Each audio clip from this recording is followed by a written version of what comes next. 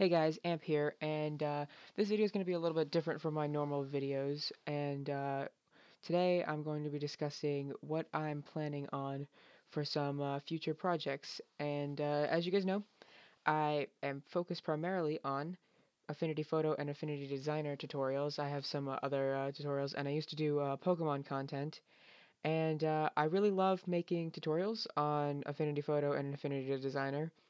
I will be doing it on Affinity Publisher as soon as that comes out.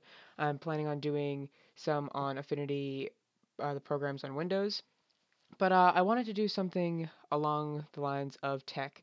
As, far as I have gone back, I have loved just tech channels, tech videos, and just discussing tech, and uh, tech really excites me.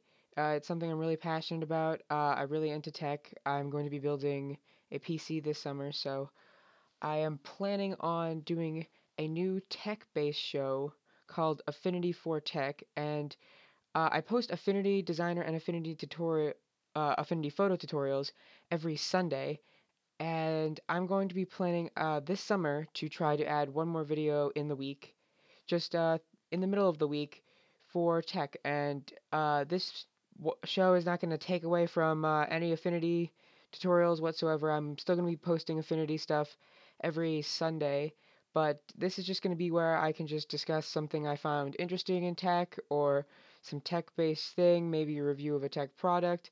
But uh, I think it's going to be a lot of fun to add to my content, and uh, I'm going to try to put two videos out a week.